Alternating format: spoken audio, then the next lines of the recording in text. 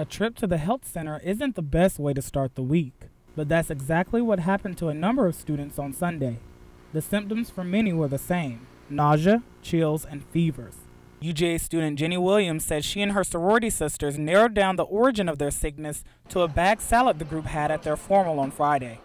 They thought their cases were related to a recent national outbreak of salmonella. So the first thing I did is get on Google and start Googling symptoms and like what to do and you know, you see E. coli and salmonella and you start freaking out. Jenny and her friends also thought they were victims of food poisoning before doctors confirmed that it was just a virus instead. Health Center spokeswoman Liz Raccoon says that there were at least four patients on Sunday with symptoms similar to Jenny's, but they would not confirm whether or not it was salmonella. Salad giant Dole recalled almost 800 cases of their products in over 10 states, including Florida and Alabama but neighboring Georgia hasn't seen any of those recalls. Although a lot of steps are involved in food production, UGA Food Sciences professor Dr. Judy Harrison says there are things that we can do to prevent salmonella when preparing food.